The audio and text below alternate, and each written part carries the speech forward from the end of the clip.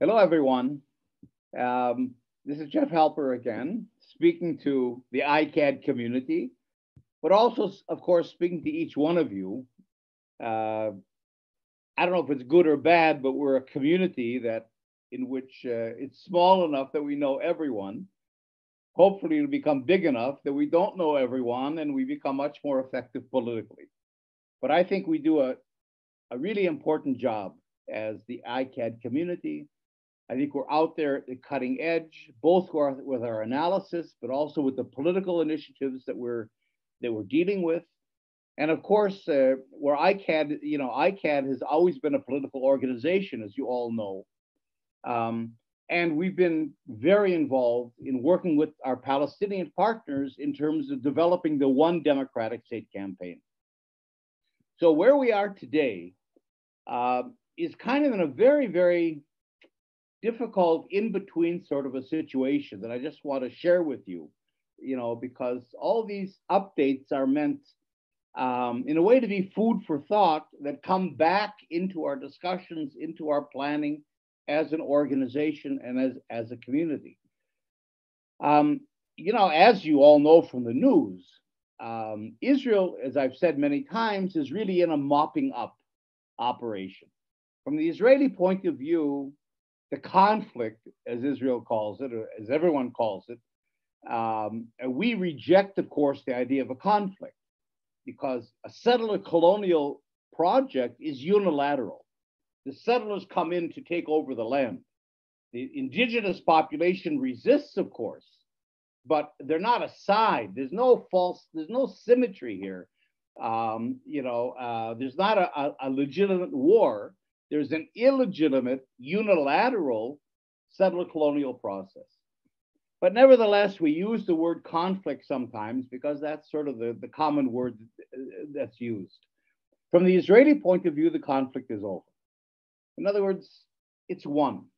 And what Israel is doing now is really nailing everything down. You know, the, the, the, the ultimate goal of a settler colonial project, after you've taken over the country, after you've taken the land, after you've displaced the indigenous population, um, and after, in a way, as you're in the process of, of um, replacing the original country with the settler country, in other words, replacing Palestine with Israel. So you go to the travel agency and you buy a ticket to Israel, that's fine.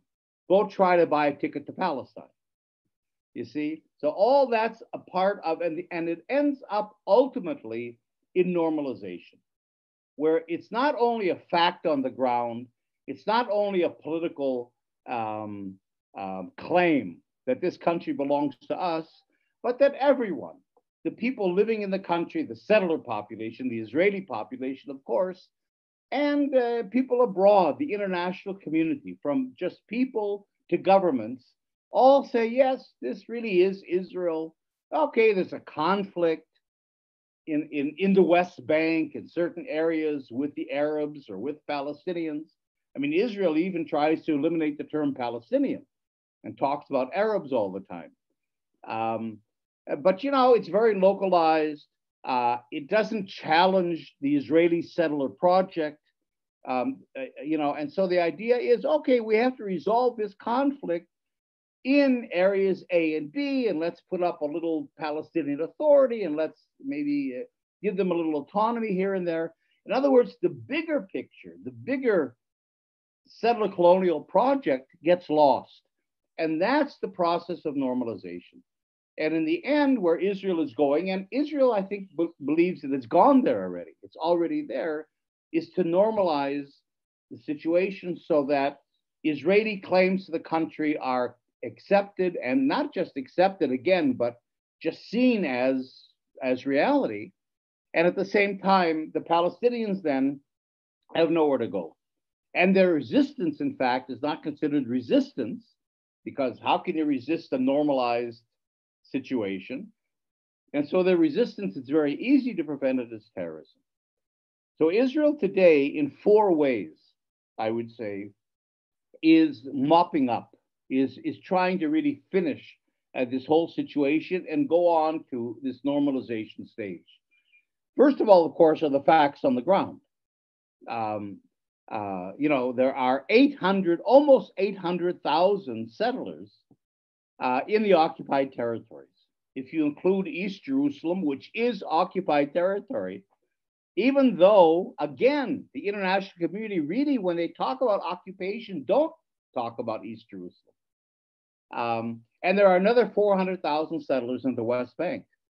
Well, Bezalel Smotrich, who's this violent settler, um, who is today not only the Minister of Finance with all the financial resources at his disposal, but he's the Minister of Defense responsible for civilian affairs, which means he's the Minister of Defense responsible for governing the Palestinian population and the settler population.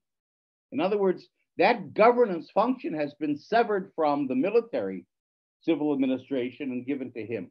So he's the one responsible for settler expansion, settlement expansion, expropriation of lands, house demolitions, and so on.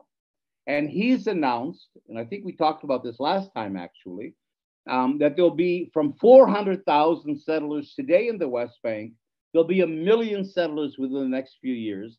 And in fact, this last week, the parliament, the Knesset, passed a bill, passed a law that says all planning now goes through Smotrich.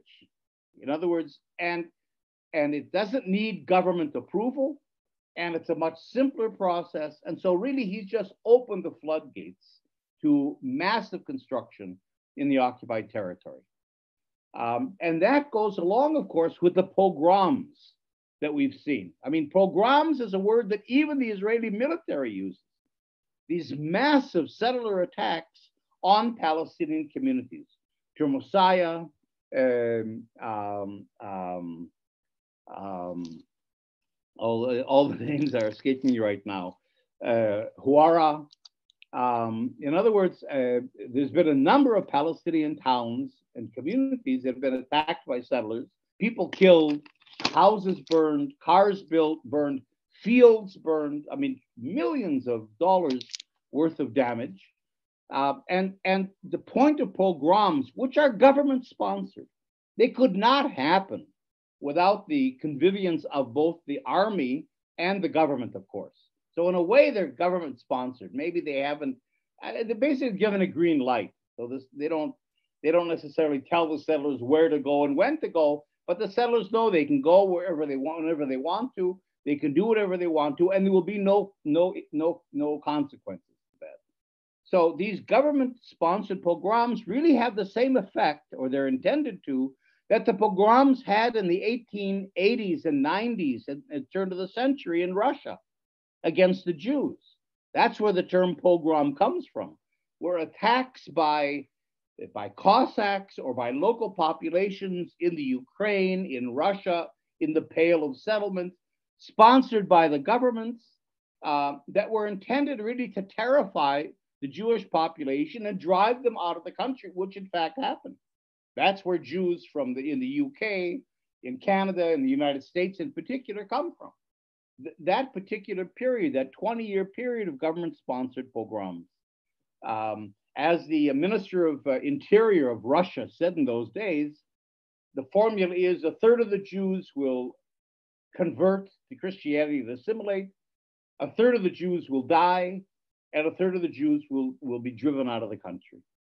Um, Israel does not want conversion of Palestinians, of course, but I think the idea is that, uh, and, and, and I don't think Israel necessarily wants to kill all the Palestinians, although selective killing is a part of the pogrom uh, terror campaign, but certainly is using is using the pogroms to drive the Palestinians out of the country, and um, uh, and to and of course to assert a claim to the land, and at the same time to quell any opposition.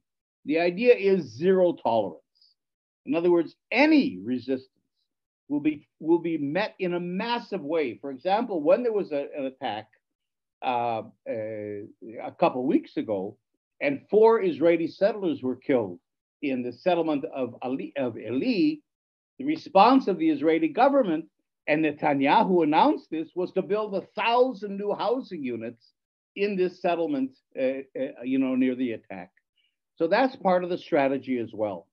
In addition to that, of course, um, Israel is normalizing itself. It, uh, you know, um, um, in other words, uh, uh, the first form of normalization of mopping up are these facts on the ground.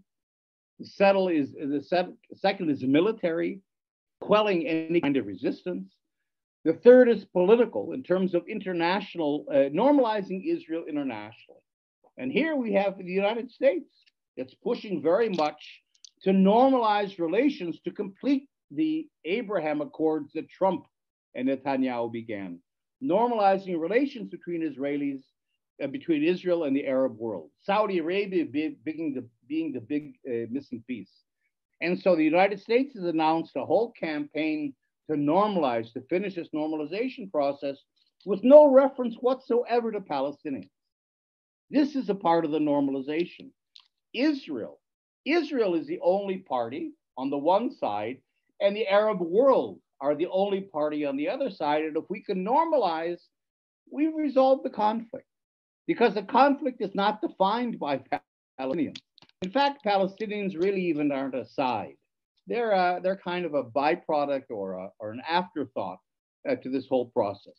So Israel, with the help of the United States and Europe, of course, is in the process of normalizing in terms of international politics. And finally, Israel is normalizing itself legally. In ter- Israel is very adept at manipulating international law. The big problem, certainly the PR problem facing Israel in terms of normalizing, is this, this idea that it's becoming an apartheid state. That Amnesty, Human Rights Watch, B'Tselem, the Israeli Human Rights Organization, uh, the UN, even, uh, and others have really documented in detail that indeed it is a, an apartheid regime. So it has to fight that as kind of the last little piece to, uh, to, to deal with on the way to normalization. And so Israel's invented did this years ago. It's never been accepted by the international community, but it doesn't matter because Israel wins anyway. Israel's invented a new legal doctrine. You know, international law says that you cannot annex an occupied territory. In other words, you, it's prohibited to acquire territory by force. We're not in the world anymore where countries go out and conquer territories you can't do that. The only way to dispose of an occupied territory is through negotiation. Well, and you and by the 14th Geneva Convention, of course, you can't build settlements in occupied territories. You can't harm the population. You can't harm their economy. You can't stop their freedom of movement. You can't, uh, you know, you can't move your civilian population. You can't demolish the homes of the indigenous. Uh, they're a protected people. That's the term in the 14th Convention. So, if in fact international law holds, and this is an occupation, um, then Israel's in violation clearly of international law that it's always been anyway. Uh, but it's also on the way to apartheid, which adds another layer of violations of international law. So, in the way Israel fights that is legally. Israel's invented a doctrine that's called the doctrine of the missing reversionary. How's that for a term? The idea being that in international law, any territory that's occupied, that's beyond your borders, that you, you've occupied militarily, is occupied territory. And the only way to dispose of it is through negotiations, right? Well, Israel says no. The definition of, of occupation is when one sovereign state conquers the territory of another sovereign state. And since there was never a sovereign state in the West Bank or Gaza, you have a missing reversionary. There's no one to, to revert it back to. There's no one to to it with or give it back to because uh, because you know before Israel, which is an occupied, power, you had Jordan in the West Bank and Egypt in Gaza, where they were occupying powers. Before that, it was a British mandate. Before that, it was the Ottoman Empire. So there never was a sovereign and therefore, Israel's claims are good, just as good as everyone else. And since we have the Bible on our side, that Israel brings into these discussions, uh, our claims are, are more justified than anyone else's. And of course, again, what's missing from this doctrine are the Palestinians. In other words, the fact that the indigenous population had no sovereignty. But we have to remember that in the in the in the context of European colonialism, you know, where they're you know where uh, they were denied the sovereignty that they should have gotten, uh, that Israel got, that the Jews got.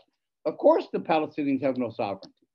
Um, but from the, this doctrine then eliminates the Palestinians as a as a political side with any political rights uh, whatsoever. So in all these ways, Israel is normalizing, and that's really the situation that we that we uh, that we face. And I know this is getting long, so let me just finish uh, on this. And that is that this really raises real questions for us. Um, how do we, at the same time, fight not every single element of the occupation. In other words, there's campaigns about Sheikh Jarrah, there's campaigns about Khan al-Ahmar, there's campaigns uh, about the wall, about settlements, about you know the BDS and everything else. But these are all rear action, very localized little campaigns. They don't get at this big ending of the colonial project that Israel is engaged in today and where the Palestinians are. Part of the problem is that it's become very hard, it is very hard for Palestinians to organize on a national basis. There is no more PLO. The PA is a, is, is, is a hostile entity in collaboration with Israel, but they're in the process of doing that. So one of the things, and we'll talk about this in future uh, in future uh, updates and conversations, in a sense, part of our job then as international or in our case, uh, Israeli, anti Zionist Israeli supporters of Palestinian rights, is to give the Palestinians a political space in which they can begin, they can continue to organize and become a strong political force in and of themselves.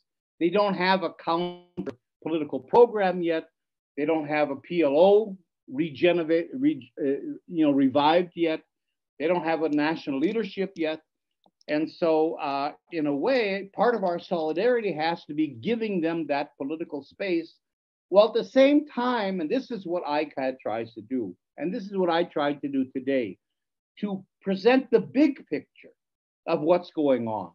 Not, not each individual thing, but for people to understand what settler colonialism is, how it works, the normalization process, and within that larger political analysis, to understand what's going on today in the way that I set it out. So I think this is ICAHD's job, and we together as a community have to figure out how to get these bigger messages because they tend to be, as you can hear, long, academic. But you know, this is the meat of it all. This is the substance. How do we get these analyses across? This is part of our challenge. I'll leave it at that for today. Again, sorry I went on so long. But I think this is really an important, uh, uh, this is the central mission uh, of ICAHD today, getting political and supporting the Palestinians in a meaningfully uh, political uh, uh, sort of a way. To be continued. Goodbye, all.